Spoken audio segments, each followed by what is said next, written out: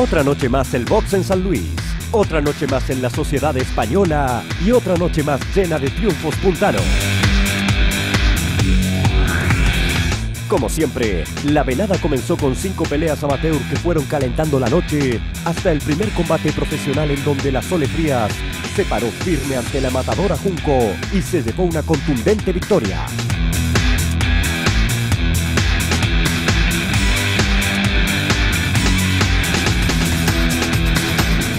Más tarde, en la pelea de fondo, el representante local Claudio el Serpiente Echegaray se midió ante el río negrino Walter Costilla Cerda, venciéndolo sin mayores inconvenientes.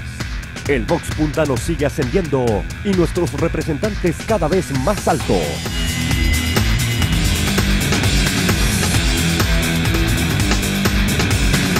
Muy bien me siento, quería pelear los seis rounds, pero bueno, en una combinación entró justo la mano abajo, que yo sabía que ella tenía esa debilidad. Tratamos de no tocarla tanto para que duráramos un poco más, para probarnos de paso nosotros cómo estamos ahí arriba.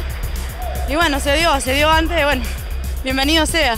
Eh, creo que si hubiese querido eh, terminarla antes, lo hubiese terminado, pero yo quería pelear los seis. La verdad contento por pelear, un rival eh, de triple experiencia que nosotros. Sabíamos que no se nos iba a hacer fácil, pero no, ganamos cómodo. Nos trabajó él en la inteligencia, muy bueno el chico, la verdad.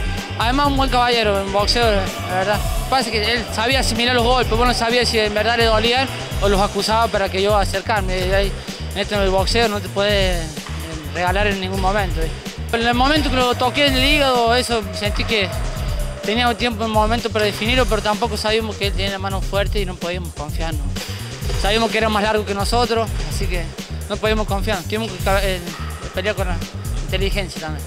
Nosotros vamos a programar una fecha para la primera semana de octubre y estamos trabajando para ver si Soledad Fría y eh, Claudio Serpiente Chegaray en diciembre pelean por un título argentino y un título mundo hispano o latino. Eso va a depender de una reunión que yo tenga en Córdoba el próximo 12, que voy a asistir invitado a una velada boxística en donde pelea por el título del mundo la Chapita Gutiérrez en Córdoba.